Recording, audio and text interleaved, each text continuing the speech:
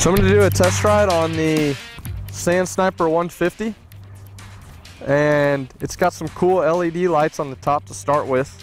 Uh, it's got a cool little tool de deal for you if you get out in the middle of nowhere and need some help.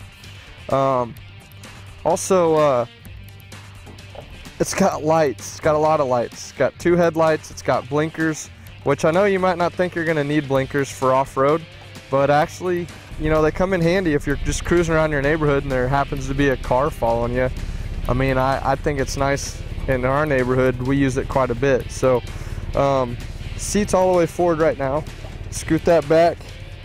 It's got a really cool uh, four-point seatbelt harness that's going to keep you from going anywhere outside of it, which is actually really nice because, you know, there always is a chance that you could roll it over. You never know. Or get stuck on a hill. And it's just good to know that you don't have to worry about falling out. So forward, it's got an e-brake. Put it in gear. And we're ready to roll. Don't have any dirt tracks around to do it, but uh, we'll give it a test ride down the road and see how it goes. Got plenty of power and get up and go depending on what you're wanting to do. But uh, I mean, it goes pretty fast, turns good, turns quick.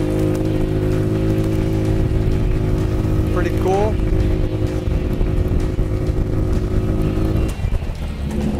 Does about 45. Good thing is too is you also got a windshield. You got the canopy on the top.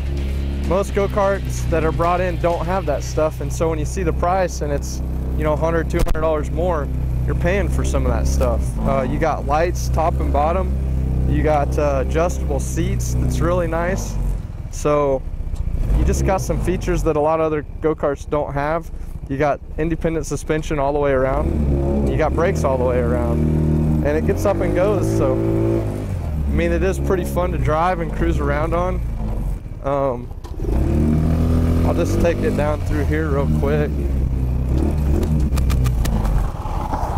I can't really go on the major highways, so I don't think I'll do that.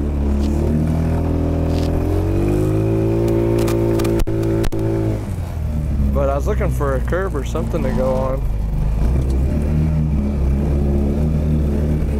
I mean, it definitely, suspension will handle it and do the wheels pretty well. We'll see about going off this curb. Oh, it's a pretty big curb. So, handles that no problem.